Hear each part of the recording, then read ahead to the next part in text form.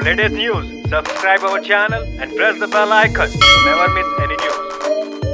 നമസ്കാരം ഇത് one India Malayalam. നടി ആക്രമിക്കപ്പെട്ട സംഭവത്തിലെ ഗൂഢാലോചന കേസിൽ റിമാൻഡിൽ കഴിയുന്ന നടൻ ദിലീപിന്റെ ആരോഗ്യനില മോശമാണെന്ന് റിപ്പോർട്ടുകൾ ഉണ്ടായിരുന്നു.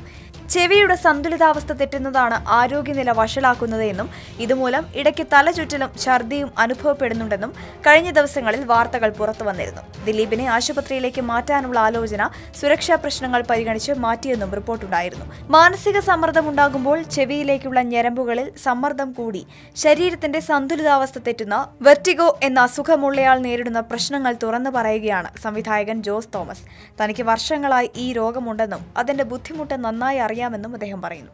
സുരക്ഷാ കാരണങ്ങളാൽ ആശുപത്രിയിൽ കൊണ്ടുപോകാതിരിക്കുന്നത് ശരിയല്ലെന്നും അദ്ദേഹം പറയുന്നു. ഈ അസുഖം കുറെ നാളായി തനിക്കുള്ളതാണ്. ഛർദിയും തലകറക്കവും തുടങ്ങിയാൽ മരിച്ചാൽ മതിയെന്ന് തോന്നിപ്പോകും. സുരക്ഷാ കാരണങ്ങളാലാണ് ദിലീപിനെ ആശുപത്രിയിൽ കൊണ്ടുപോകാത്തത്. രാജ്യം കൊള്ളയടിച്ച ആളോ ഭീകരവാദിയോ അല്ല ദിലീപ്. കാക്കി ദേഹത്ത് കയറിയാൽ മനുഷ്യത്വം മരിക്കുമോ എന്നും അദ്ദേഹം ചോദിക്കുന്നു. കുറ്റവാളികൾക്ക് പോലും വിദഗ്ധ ചികിത്സ കൊടുക്കുന്ന നിയമമുണ്ടായിരിക്കെ ഇത് അനീതിയല്ലേ?